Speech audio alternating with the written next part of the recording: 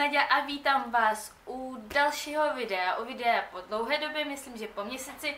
Vím, že jsem minula slibovala, že tato videa budou pravidelnější, ale evidentně to, co slibuju, tak stejně nedodržím, takže už vám, už vám pro příště radši nic slibovat nebudu. Ale každopádně jsem se konečně k tomu dokopala, konečně jsem si našla čas a jsem plná energie, takže snad budou videa pravidelnější a dneska jsem si pro vás... Co je? A dneska jsem si pro vás připravila takový book haul. Upřímně nevím, za který to je měsíc, ale nejspíš za měsíc březen. Knih, co jste určitě ještě neviděli, a to jsou tyto knihy. A některý jsem si koupila, některý z nich jsem dostala, některý z nich jsem tak jako jenom adoptovala svým způsobem a můžeme jít na to. První kniha, kterou, jak jsem říkala, jsem adoptovala, tak to je Arthur Rimbaud a má Bohéma a toto knihu vyřazoval můj kolega z knihovny a mně to přišlo hrozně líto jít někde nechat, takže jsem si ji doma ubytovala, i přesto, že doma už jako místo nemám, takže nevím, kam je bude ubytovávat. Každopádně je to jeho sbírka, sbírka básní a koukala jsem, že tady je i nějaká, výběr nějaký prózy, takže jednou, až budu mít nějakou tady tu uh, děsně tragickou a depresivní náladu, tak se do toho určitě pustím. Další kniha, kterou jsem si adoptovala, je od Jonat, doufám, nebo Junot Diaz a je to krátký, leč divoplný život Oscara Vajda. A bylo mi řečeno, že tohle je úplně skvělá kniha a že je to takový must have a must read a všechno.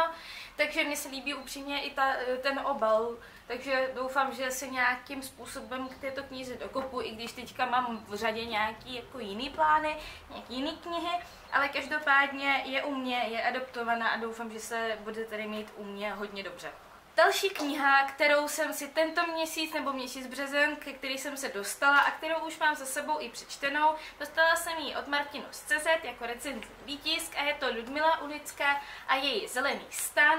Je to velmi zajímavá kniha a určitě vám na ní udělám zvláštní video recenzi, protože stojí za to o ní mluvit ve zvláštním video. Každopádně ve zkratce je to prostě kniha, která popisuje období Sovětského svazu 50. a 60. léta a hned po smrti Stalina a popisuje vlastně životy lidí v tomto období. Je docela dost tlustá, je docela dost náročná na čtení. Jsem tam jako, už si říkáte, že ne, a pak furt jako musíte pokračovat a dočíst to do konce. Ale za mě úplně skvělá a pokud máte náladu na něco vážnějšího, tak tohle bude super volba. Další kniha, kterou jsem si koupila minulý měsíc je Provazochodkyně od Simon Moyer. A já jsem si ji upřímně koupila už jenom kvůli názvu, protože mi se hrozně líbil na, na, název, název Provazochodkyně a i když jsem přečetla tu recenzi a i popisek na obale knihy, tak uh, začala mě zajímat, tak jsem si ji pořídila a chci si do ní pustit hned po knize, co čtu teďka. Takže pokud jste ji četli, tak mi když tak napište dolů do popisku komentáře, jestli se vám líbila anebo nelíbila a jestli máte na ní pozitivní anebo negativní názor. Další kniha je teďka hrozně proflákla a je to Jiskra v popelu. A od Saba Tahirové, doufám, že to čtu dobře. A je to taková jakoby fantasy, něco ve smyslu young adult trošku, jsem tam jako Hunger Games tady přirovnávají, nebo k Harrymu Potterovi přirovnávají, nevím proč všichni mají teďka tendenci přirovnávat knihy k jiným knihám. Každopádně viděla jsem ji všude na různých Instagramech, v různých recenzích a tak jsem si říkala, že uh, pustím se do ní a upřímně vám řeknu, že jsem teďka někdy na nějaký 115. stránce a hrozně mě ta kniha baví. Opravdu se hrozně jednoduše čte, ten příběh zatím dává smysl a víc vám k tomu povím, až ji dočtu a udělám vám na ní video recenzi. A poslední kniha měsíce března je tahle kniha. A je to vlastně vegetariánská kuchařka. Tato vegetariánská kuchařka, tu jsem dostala vlastně a z toho důvodu, že držím každý rok pravoslavní půst před našima velikonocma, které budou 1. května a vynechávám prostě z jídelníčku maso, nějaký úplně nezdravý věci, jako fast foody a tak, alkohol. Jsem tam jsem se snažila vynechávat i e, sladkosti, ale tak pevnou vůli jsem zjistila, že nemám. Ale tato kniha, pokud máte zájem úplně o vegetariánství a o zdraví vlastně nějaký způsob života, tak tato kniha má v sobě sbírku receptů, myslím, že z nějakých východních zemí, takže arabský země a tak. A je to opravdu hrozně přehledný. A najdete tady úplně neuvěřitelné recepty. Já jsem hrozně se těším na to, až budu mít víc času a upeču z toho třeba chleba, který tady mají a tak, ale opravdu mají i krásné ilustrace. Ta kniha je přehledná, hrozně jednoduchá, žádný prostě nějaký úplně nejsložitější recepty v tom nejsou, takže pokud o to máte zájem, tak se na ně určitě koukněte a myslím si, že zůstanete nadšený stejně jako já.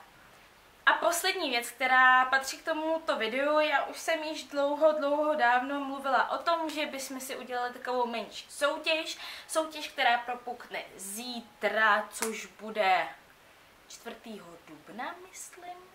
Jo, dáme ji na týden a začneme 4. dubna a skončíme 11. dubna.